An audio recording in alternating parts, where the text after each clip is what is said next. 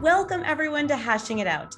I'm your host, Becky Liggero, and we have something special for you here today. On September 7th, nChain participated in a responsible gambling panel at the Social Responsibility for Gambling Operators Conference in London. nChain's BSV blockchain powered Kensei solution is now available for iGaming operators, and it provides an unrivaled platform for data management with respect to responsible gambling. This episode of Hashing It Out will provide a doorway into the iGaming industry's needs and reception of blockchain technology with respect to responsible gambling.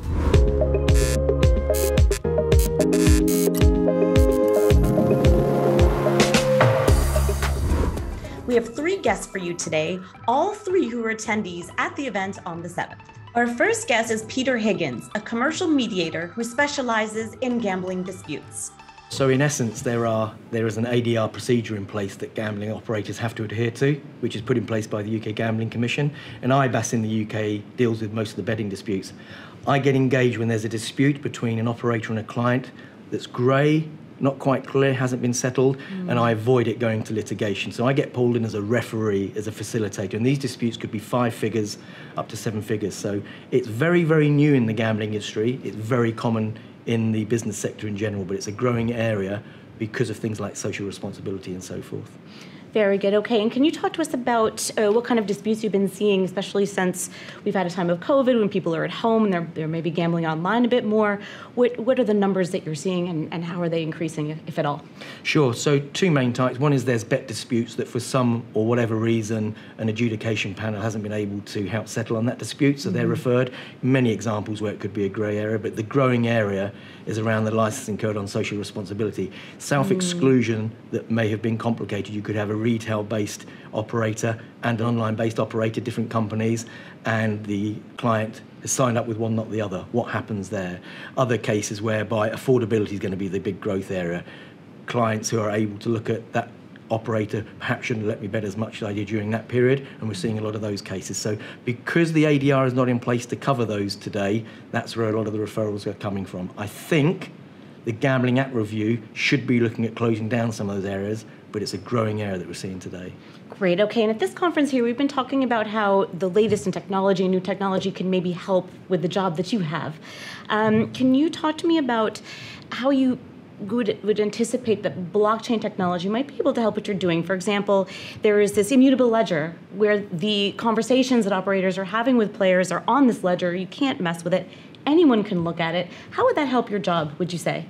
Well, it won't help my job. What it'll do is settle some of the disputes so that they don't get to this stage, which is a good thing. I'm mm. basically dealing with stages that we're trying to avoid going to litigation. Mm. So if hmm. you can have these ledgers in place that prove what was placed when, with some different examples. In crude terms, it's basically more evidence for the mm-hmm. operator mm-hmm. or for the client in that case. So I think that would be a great area for assisting in terms of making sure that disputes don't go to dispute resolution. So it'd be very useful for looking at the real track of what was in place beforehand. Our second guest is David Clifton. He was serving as the conference chair and also has years of experience in compliance and regulation within the UK gambling industry. And so, David, in all of the panels that have been happening so far, technology has been a big topic, uh, ways of sharing data, ways of keeping track of data. Can you share a few of the technological themes that have emerged here at this event so far? Yes, I can. And just picking up on use of the word data, we had Tim Miller, who's executive director at the Commission, speaking first thing this morning. And um, I think the word data pretty well sums up the major emphasis of his presentation. The data is there, it's a question of how operators are, are using that data. But what has been happening, and that's been evidenced certainly by a number of the sessions today, is that the technology is becoming more complex, but also becoming more available available. Um, and personally, I will not be in the slightest bit surprised if we see from this government review a more formal requirement for UK licensed operators to use the technology that, that is, is available. Um, and in all possibility, that may prove a little bit tricky for smaller operators. Um, and so that's going to need to be addressed. Um, but I, I I think the expectation on the part of the Commission is that if the technology is there to assist as far as safer gambling processes are concerned, operators should be using it. Very good. And, and one of your panelists today, Nick Hill, he was speaking on behalf of nChain, which has a solution mm. that is built on the blockchain mm. that is meant to help online gambling operators comply with responsible gambling initiatives and all sorts of great ways of, of using data. So, from your experience, what role do you think blockchain technology can and, and will play in this um, responsible gambling initiative here? That's a very interesting question because a lot of us are still learning about blockchain. I think that it's something that, um, up to now, from a UK gambling regulatory perspective, has been too closely associated possibly with um, cryptocurrencies and so on. And um, certainly the Gambling Commission here uh, do have concerns from a regulatory perspective, money laundering and uh, or potential money laundering concerns there. So it was illuminating, to be honest, to hear how this blockchain technology can be utilized in terms of providing a, a, a potential safer gambling solution. So, no, very interesting indeed. I love the word illuminating. That is exactly why Nick Hill is here. Yeah, and I think what is really interesting is this point that you made that there blockchain technology can be used for many, many ways other than for payments. Yep. And I think regulators are much more open to talking about ways to use the blockchain tech itself. Mm you know, to, to power responsible gambling initiatives versus funding accounts, I think. Absolutely. And I mean, I think what, we, what we've learned today is the manner in which um, blockchain can be used to track the player journey, to show the markers, the indicators of gambling related harm. And so uh, that's what this technology is, is, is, is really powerful at doing. And that's why I expect we're going to be finding out a lot more about it and hearing a lot more from the Commission about it. And finally, Nick Hill of Premier Chain spoke at the event on behalf of nChain. His goal of the event was to educate delegates on why platforms like Kensei provide a superior solution for responsible gambling initiatives.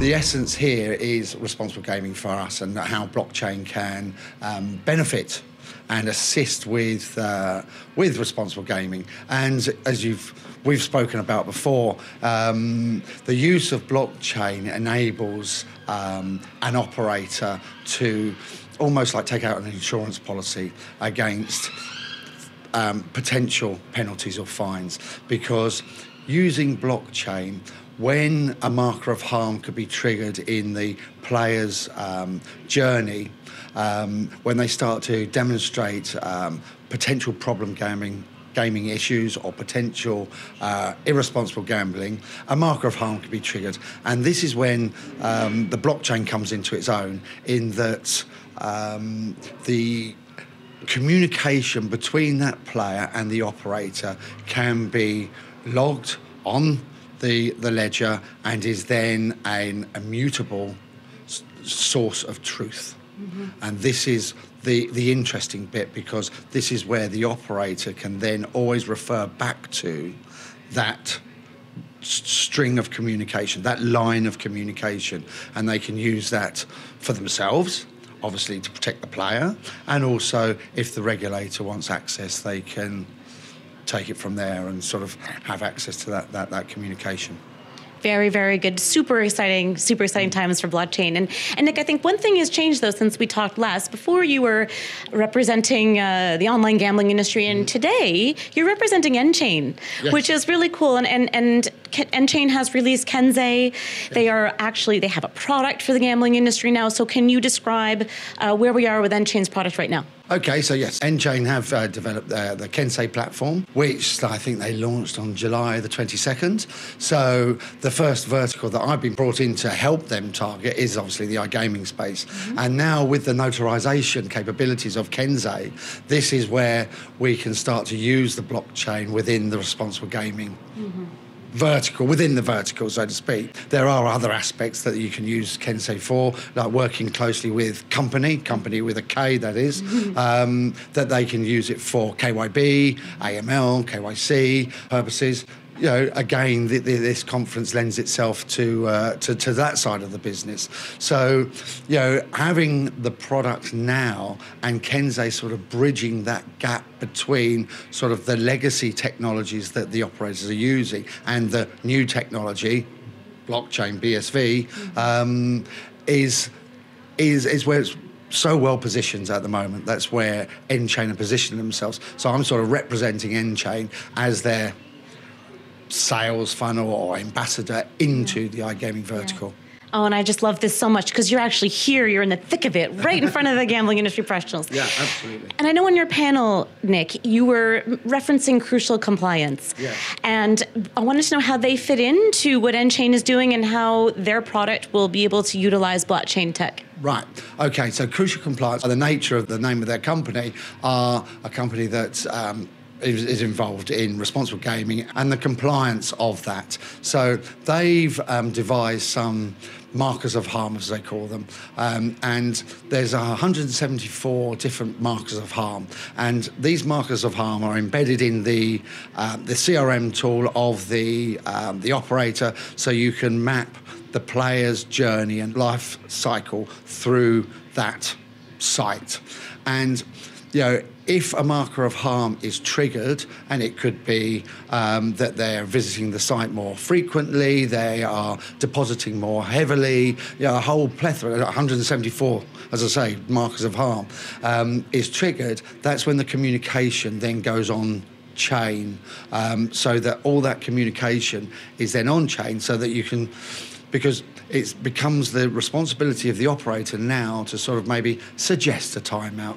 suggest a break in play, suggest you know setting a bet limit or a deposit limit or a loss limit, you know, and if things are escalating, to actually pick the phone up and reach out to the player and you know communicate and you know educate the player to a certain extent. Because when they're in the thick of it and they're maybe chasing losses or chasing winnings, they could be making ir- irrational decisions. And sometimes it's like, hey, just take some time out, guy. Yeah. Or, you know, or why don't you set yourself, you lost two grand last night, why didn't you set yourself a loss limit or a deposit limit? Because I'm sure that two grand must have hurt.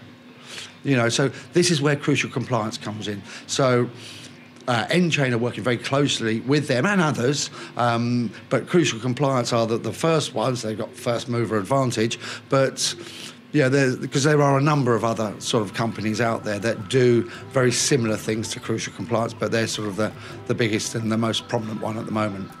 Fantastic. And if you would like to hear more from Crucial Compliance and from Kompany and from Nick, join us at CoinGeek New York for our responsible gambling and KYC KYB panel. Indeed, yes. I look forward to that, Becky, and uh, continuing these conversations that we have. Yay, me too. Thank you guys so much for watching. It's Becky Liggero for CoinGeek.com.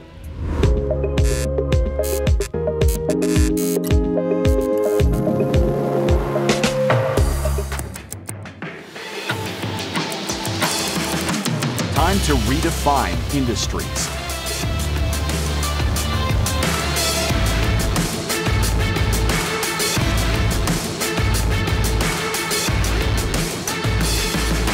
Time for the BSV blockchain. It's about time, New York City.